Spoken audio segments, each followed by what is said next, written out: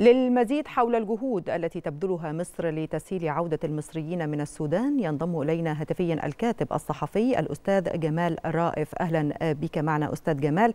بداية تقديرك لأولويات الدولة المصرية في التعامل مع الأزمة السودانية.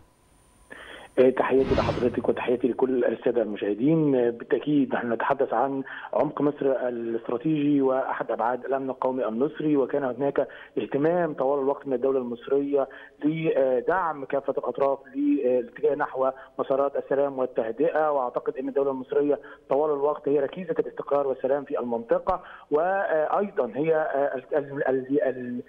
السند والعون أيضا لمواطنيها سواء في الداخل والخارج. عشان كده بنرى جهود الدولة المصرية المتواصلة لإجلاء الرعايا المصريين في السودان بتمضي بشكل مستمر وبمتابعة شخصية من القيادة السياسية المصرية وهناك الآن لجنة للأزمة تتابع هذا الموقف مشكلة طبعا من الوزارات ومن المؤسسات المعنية في الدولة المصرية. أعتقد أن العمل يسير بشكل أكثر من رائع. أيضا العقيدة الدبلوماسية التي تحرص على عدم يعني طيب فيما يتعلق أستاذ جمال بالعقيدة الدبلوماسية كما ذكرت إلى أي مدى عمليات الإجلاء؟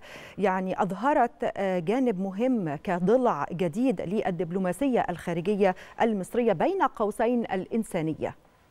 بالتأكيد يمكن ما تبديه الدبلوماسية المصرية الآن من عمل أكثر من رائع سواء فيما يتعلق بالتواصل الدائم مع كافة الأطراف الدولية والإقليمية وحتى مساعدة الدول الصديقة والشقيقه في إجلاء رعاياهم من الداخل السودان أو حتى فيما طبعا تقوم به من أجل الرعايا المصريين واجلائهم من الداخل السوداني. وبنشوف إزاي إن السفارة أو وزارة الخارجية المصرية في الحقيقة أصدرت بيان مهم للغاية مع بداية الأزمة إن العقيدة الدبلوماسية بتؤكد إن لا يمكن أن نخلي البعثة الدبلوماسية ولا يرحل أي من أفراد البعثة الدبلوماسية في الداخل السوداني إلا بعد أن يتم الطمانه على كافة المصريين وإرجاعهم إلى وطنهم في وقت في الحقيقة هناك دول كبرى يعني نعم. بعثتها الدبلوماسيه غادرت مبكرا ولكن حتى البعثه الدبلوماسية المصرية بتمضي نحو العقيدة الدبلوماسية المصرية التي لا تتنازل عن الحفاظ على مكتسبات المواطن المصري وارجاعه إلى وطنه سالما غانما وبالتالي أعتقد إن العمل المصري الآن ليس أيضا وليد اللحظة ولكن هو نتاج تجارب سابقة ونتاج